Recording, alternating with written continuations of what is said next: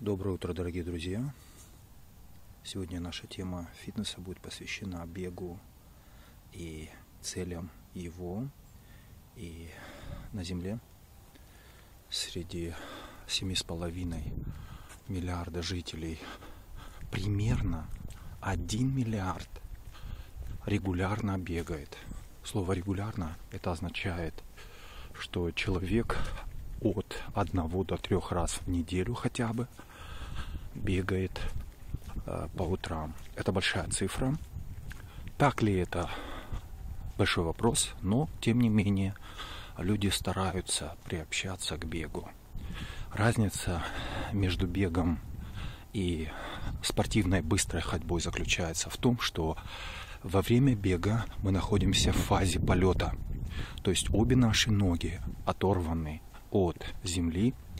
И поэтому, когда ставится одна нога затем на землю, то вес тела человека с большей степенью давит, и сила удара ноги о землю, она постепенно начинает э, разрушать стопу, коленный сустав, тазобедренный сустав, а также поясничный отдел позвоночника, где больше всего приходится нагрузка во время бега. Поэтому очень важно, чтобы человек, который решил заниматься бегом, был в достаточной степени худым. То есть люди, они делятся на три э, упрощенных как бы, да, типа. Приземистые, крепкие, среднего телосложения и худые, высокие. Ну, конечно же, на самом деле такие типы людей встречаются тоже редко, но касательно бега, бег противопоказан людям с большой массой тела, потому что они тогда будут разрушать свою костно-связочную структуру быстрыми темпами. Поэтому прежде всего надо похудеть через диету, через дозированное голодание – через изменение привычек питания, а затем необходимо начать э, спортивную быструю ходьбу по программе полчаса в день, но пульс при этом должен подниматься, как и во время бега, до 120-130 ударов в минуту. Это оптимальный режим для человеческого сердца. Как для автомобиля 90 километров, так и для человека тренировка как в воде, так и на суше сердце, пульс должны быть примерно 120-130 ударов в минуту. Итак, вы уже готовы, вы купили себе хорошие кроссовки, они должны быть с протекторами. Вы не можете бегать в ботинках или в уличных туфлях или в кедах. Нет, это будет разрушать э, костную структуру, связочный аппарат ваших ног. И поэтому не пожалейте деньги, посмотрите по тестам, какие кроссовки наиболее подходят сейчас для вас. И амортизаторы у кроссовок должны быть достаточно толстыми, чтобы вы могли выдерживать эти большие нагрузки. Итак, с чего же начинать? Утром или вечер? Вы знаете, многие люди почему-то думают, что утро для бега это лучшее время. Но на самом деле это не так.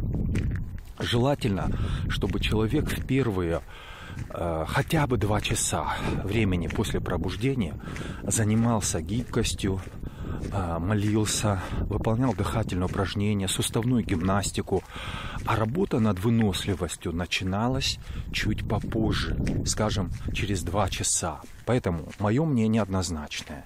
Если вы э, человек умственного труда, проводите сидячее время свое на работе, то это может быть время обеденного перерыва или после работы. Итак, вы выходите э, на улицу и начинаете с быстрой ходьбы. И быстрая ходьба может длиться в течение 5-10 минут. Затем вы делаете одно небольшое ускорение на расстоянии примерно в 50 метров. Назвать это ускорением тоже можно с, большой, с большим трудом. Это будет просто-напросто э, медленный бег для вас. Потому что вы долгое время не занимались бегом, и теперь вы нуждаетесь в том, чтобы ваше тело перестроилось. Наберитесь терпения. Изменения происходят в течение 40-45 дней. Это ритм изменений физического тела нашего. Поэтому быстрее старайтесь этого ничего не делать. Итак, вы пробежали медленным бегом расстояние в 50 метров, затем снова идете быстрой ходьбой в течение 5-10 минут. Итак, э, в первую неделю вы занимаетесь от двух до трех раз по программе полчаса с двумя, может быть, самое больше тремя ускорениями на короткое расстояние, всего лишь 50 метров. Костная структура, мышечный аппарат, легкие, сердце перестраиваются, и вы постепенно начинаете привыкать к этой нагрузке. На второй неделе вы уже не через 5-10 а, минут делаете это небольшую пробежку, 50 метров нет, а вы это делаете каждую третью минуту.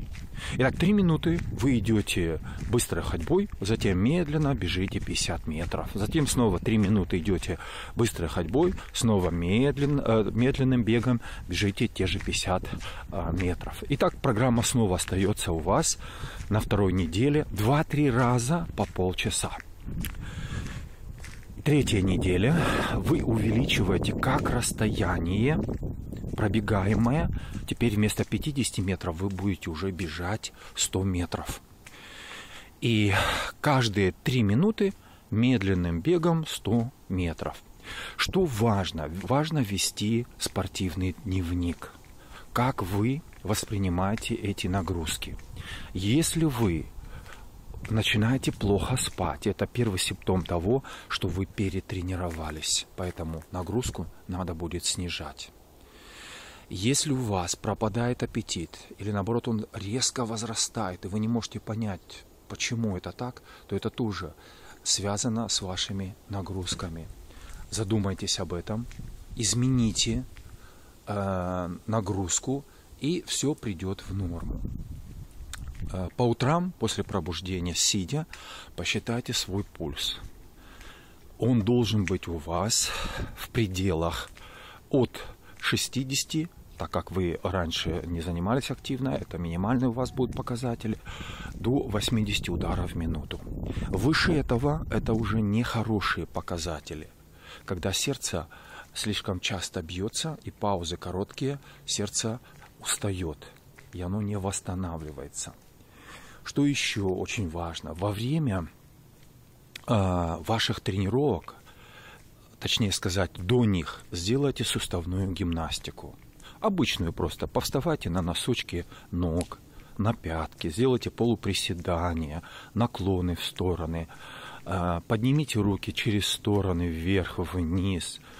И эти упражнения сделайте в течение пяти минут до легкого разогрева а затем приступайте к вашей э, беговой и спортивной ходьбе, программе.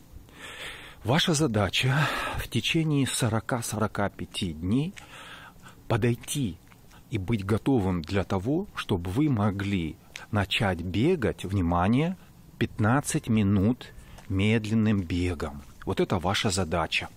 Если вы до этого никогда ничем этим не занимались. Через эм, два-два с половиной месяца вы будете уже готовы к тому, чтобы пробегать без остановок уже полчаса. И постепенно вы должны понять, что ваше желание быть здоровым и проявление вашей спортивности – это совершенно разных два направления. Ваше желание быть здоровым, оно связано с тем, что вы не выходите за определенные рамки э, тренировок. То есть вы занимаетесь по программе 3-4 раза в неделю, бег у вас по полчаса. Этого будет достаточно. этого будет более чем достаточно. Но если вы решили пробежать марафон, как это сделал когда-то Фидипит, первый грек, который решил сообщить о победе э, в предместе Афин, которые назывались Маратон, то э, вы должны быть готовы к тому, что нагрузка окажется для вас чрезмерной, и придут кое-какие разочарования в вашу жизнь в том числе. Потому что люди, которые идут по линии спорта, а не путем оздоровления, они проходят пути разочарования, как это было когда-то и у меня. Я 9 раз бежал марафон, хотел выбежать из трех часов, так и не смог. Лучшее мое время было 3 часа 22 минуты. И я вспоминаю, что бегал я много, час утром, полчаса вечером или наоборот, но э, спина у меня в то время болела. Поэтому я советую вам разделять ваше желание быть здоровым и ваше желание э, приобщаться к спорту, который, коим является э, тяжелое испытание под названием марафон. Божьих вам милости и благословений. До свидания.